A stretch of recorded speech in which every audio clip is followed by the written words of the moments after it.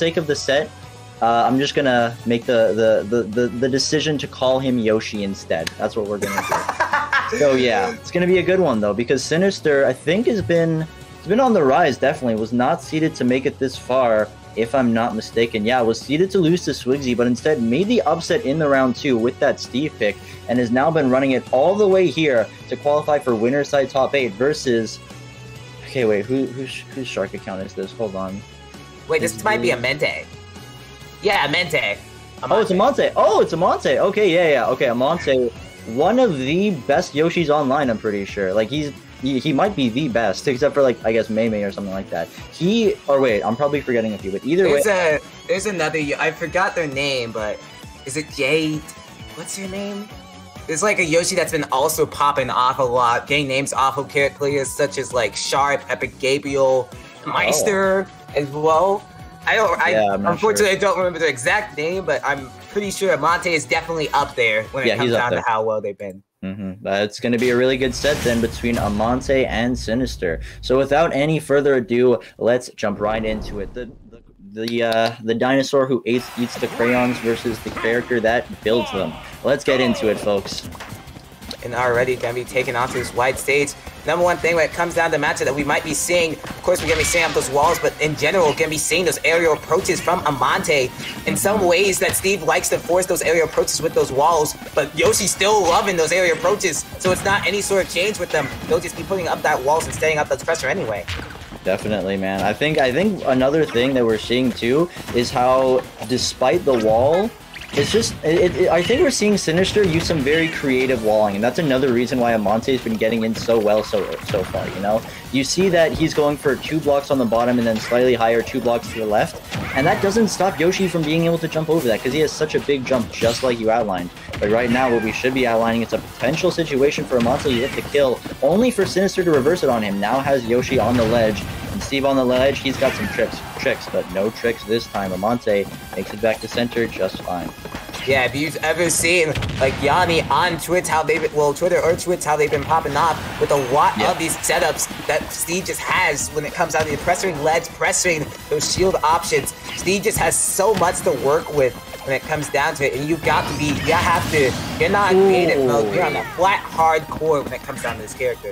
They're gonna be taking that stock off. Maybe we're no longer in hardcore, we're just in survival. Yeah.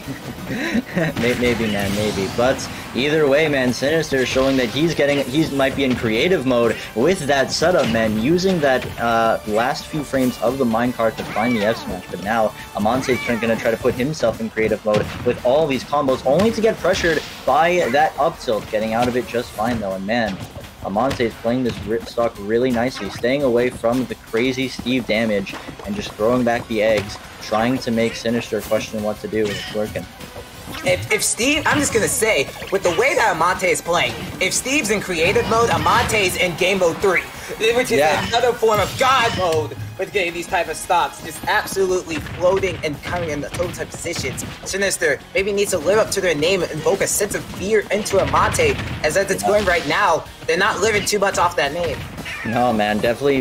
Amante is definitely showing that he is not scared. He knows how to beat these thieves through and through, and Sinister right now is just the next one on the chopping block. Always getting in on these mining advantages and never really getting punished, never overextending, just going for the consistent throw to the shield, just trying to get something safe, and then getting his damage and getting out.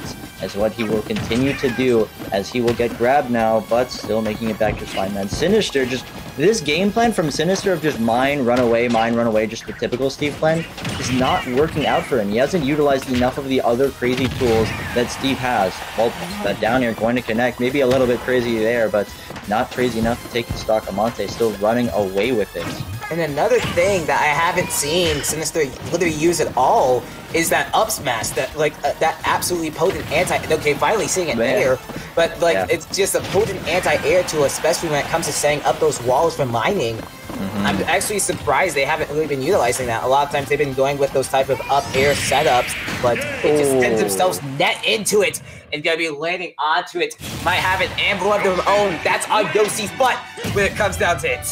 Yeah, it is, man. Kit using the boot, the Yoshi boot. Clean and simple. Amante goes up one game, and I think, I think for the most part, I think Amante played that really nicely, but I feel like some of the blame also kind of has to go to Sinister.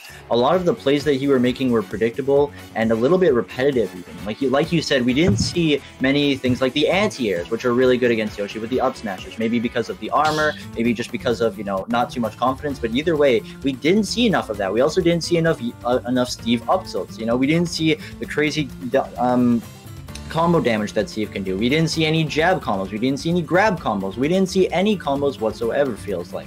We just kind of saw the raw smash attacks and the mine run away, which Amante was ready for. And it's why he got that consistent two stock to take it out. We're going to have to see so many adapt adaptations from Sinister if we're gonna gonna see this set go into his favor. But either way, the stage will as he has the counter pick. Yeah, absolutely. You do have to find some sort of change here when it comes down to it. Perhaps it's a gameplay area, or perhaps say like, yeah, maybe I need to throw out those anti-airs better. But gonna be going back to Pokemon Stadium with how that last game goes, I probably would have gone to a different stage or something like that. Yeah, no, I think I think so, but I don't. I, I think he could have. He has some better stages, but I feel like PS2 is also okay for the most part. But I definitely think that there's some better choices. That Amante might have banned. I don't know, but either way, this is already a much better start to the game. Even game so far, and getting a lot more out of shield options and just playing this matchup better. Also using Minecart for the first time, and feels like the set, even though completely wasn't. Sinister, Sinister's bringing it back here. And as you were saying as well, also utilizing a lot more of those up tilts for that uh, steep yeah. build-up damage. Maybe this is where they got a little bit more comfortable, finally getting themselves warmed up. and almost getting that dagger stock, but good DI coming in from Amante. That can kill us astronomically early, but you can still get that DI going.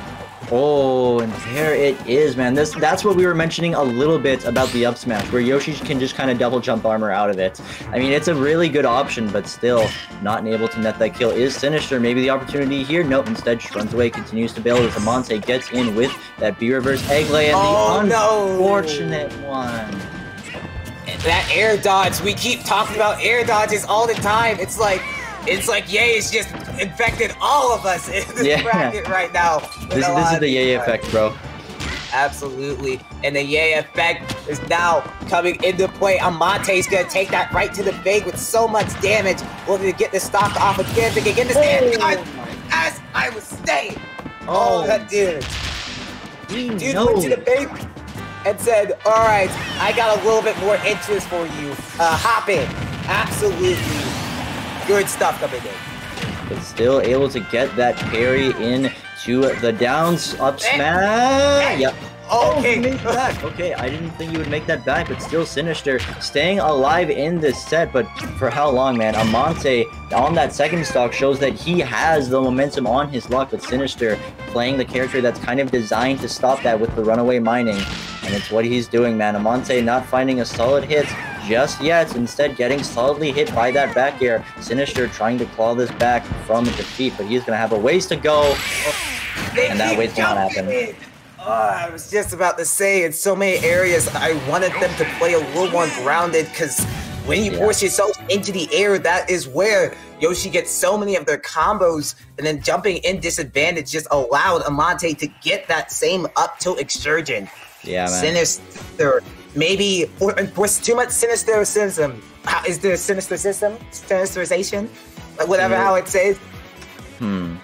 They just forced hmm. a little bit on themselves and unfortunately just didn't play that as maybe as high level as they were playing it earlier. Probably a little bit burned out compared to the other sets. But gonna yeah. be moving on to lose not completely out of it, but with this one bit going, it ain't impossible. It ain't mm-hmm. impossible. Yeah, but no, that was a really. I mean, honestly, like we talk about how you know Sinister kind of got messed up there, feeling a little burnt out, and he was.